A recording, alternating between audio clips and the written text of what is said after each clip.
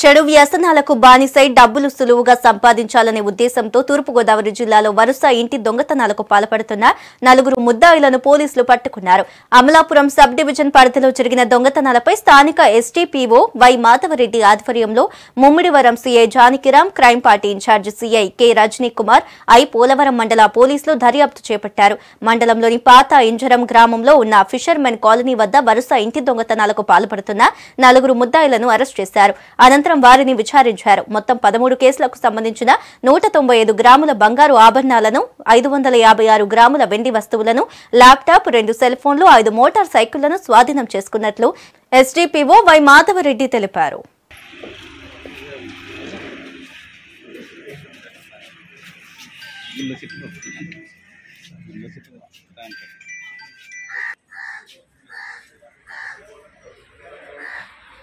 我 这个是那个什么，我这个是，我这个是，我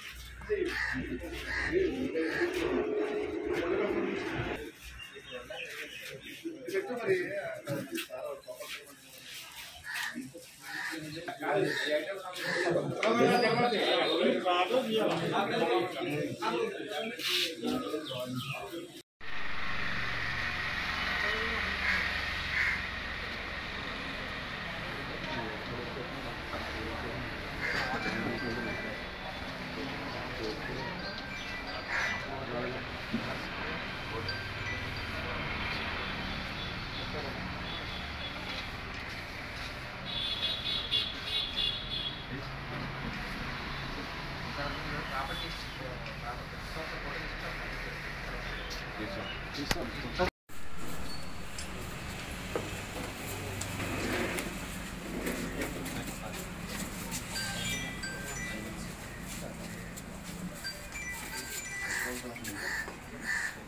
sir vehicles కూడా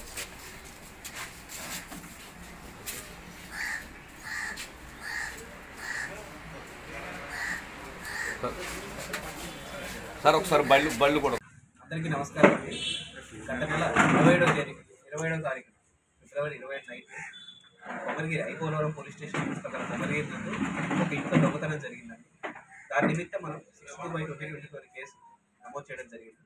ఈ దర్యాప్తులో భాగంగా మన sub divisional crime party incharge అయిన సిఐ గారు రజనీ కుమార్ గారు వాళ్ళ సిబ్బంది బాలకృష్ణ అండ్ ఇద్దరు ప్లస్ ఐపోలవరం స్టేషన్ సిబ్బంది ఎస్ఐ గారు కొమరవరం సిఐ గారు.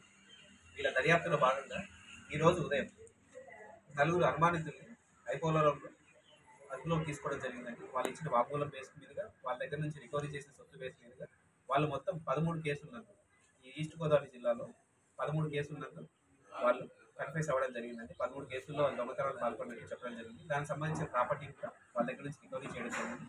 ఈ ప్రాపర్టీ మొత్తం మనకి ఈ ప్రాపర్టీ అంటే పొలిసులు తర్వాత ఇవన్నీ కలుపు